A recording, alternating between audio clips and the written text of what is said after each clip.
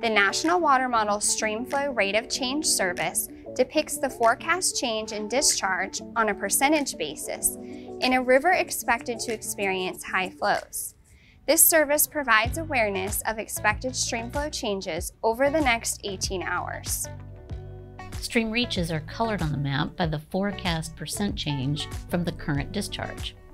This example shows the rate of change for streams during the landfall of Hurricane Ian in 2022. Clicking on a stream reach will bring up a text box with details of the change for that reach. The percent change is computed between the current stream flow and the forecast stream flow at individual three-hour intervals over the next 18 hours.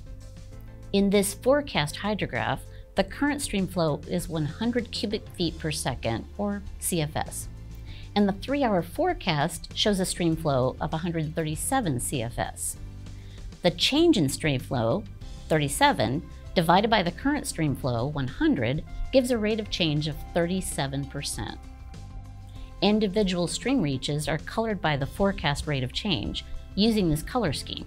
For example, a stream reach with an increase of 37% will show as orange. Only reaches that are forecast to have stream flow at or above high water at some time during the 18-hour forecast period will be colored in the stream flow rate of change service. The National Water Model high water threshold represents an elevated flow value for a given stream reach, as defined by an annual exceedance probability that is region specific. The rate of change service provides important information for rivers expected to have flow at or above high water. For smaller rivers and streams, this service acts as an important guidance for rising stream flows that are not captured in other services such as the Rapid Onset Flooding Service, which requires a quick rise in stream flow that meets specific criteria.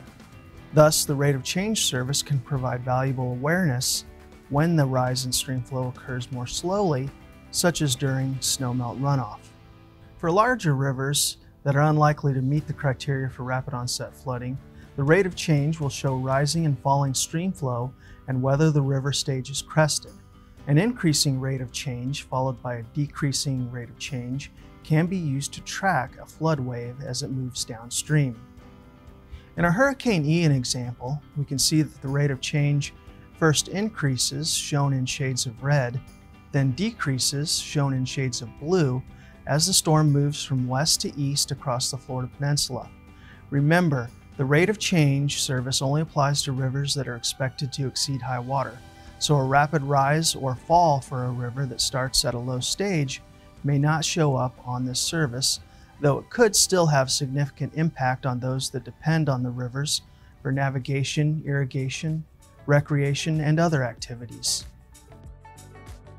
The Streamflow Rate of Change service depicts the percentage change for stream flows expected to exceed high water.